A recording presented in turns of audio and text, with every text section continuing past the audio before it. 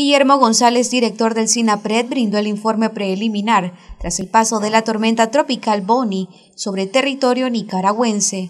González asegura que 352 viviendas sufrieron inundaciones, 123 reportaron daños parciales, 3 fueron destruidas. Además, descartan pérdidas humanas por el impacto directo del paso del fenómeno. Este, es posible que podamos ir agregando algunas cifras.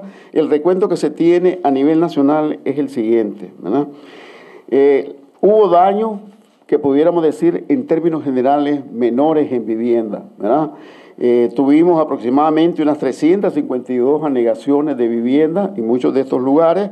Eh, daños, daños parciales en algunas viviendas, principalmente techos, techos desprendidos, lo cual era, digamos, eh, dentro de lo que se esperaba, 123 viviendas con techos desprendidos, ¿verdad? Eh, viviendas destruidas totales, tuvimos tres. Eh, tuvimos también algunas letrinas en algunas de estas casas. Cabe destacar que como, como país podemos decir que no tuvimos daño humano que se pueda atribuir de forma directa ni al impacto, ni al tránsito, ni a la salida eh, del fenómeno. Otras circunstancias que se presentaron están totalmente al margen. El funcionario agregó que se encuentran valorando las pérdidas en la producción y afectaciones en caminos productivos. Lo que más se tuvo, y fue uno, digamos, de los principales eh, elementos que tuvieron que tomar en consideración, pero que también ya estaba previsto en la respuesta, fue el tema de los árboles caídos.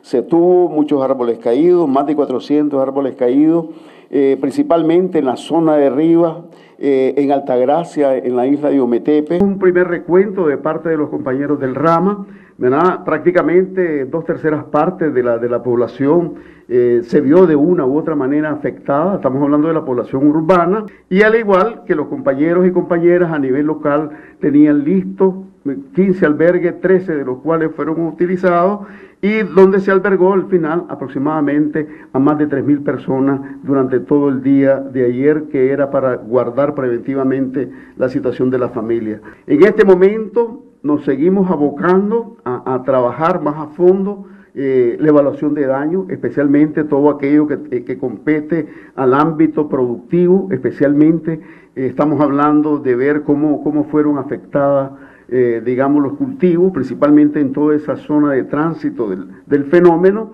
caminos rurales, ¿verdad?, que han sido descritos, que muchos de ellos, pues, que se vieron afectados. Para Noticias 12, Gabriela Solórzano.